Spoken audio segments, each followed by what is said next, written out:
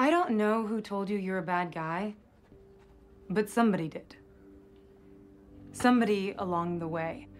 Somebody or something convinced you of it because you think you're a bad guy, and you're just not. I'm socially inept, but even I know that.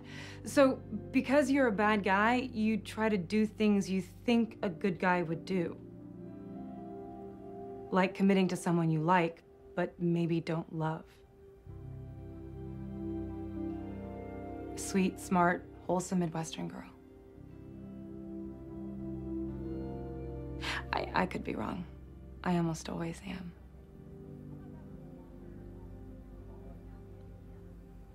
Why are you single? A lot of men are intimidated by my intelligence. No, seriously. Because you never asked me out. Caught you off guard, didn't I? Yeah, you really did.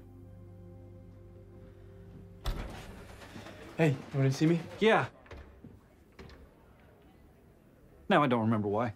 Don and Maggie are moving in together. Yeah? I still have to ask her. Seriously? That's great. Cool. I didn't. All right. Good luck. In your uh, apartment? Hmm? There, you're moving in together in your apartment. No, in fact, we're gonna live among the hill people. I didn't know if you were gonna shop. We'll start in my you. apartment. Okay, so I really don't remember why I asked you to come in here. I'm sorry. ah, don't worry about it. I'll see you later.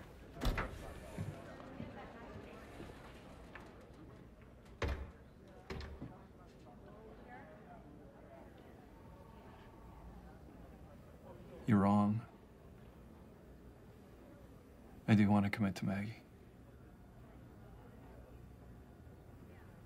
Well, that's what a good guy would do.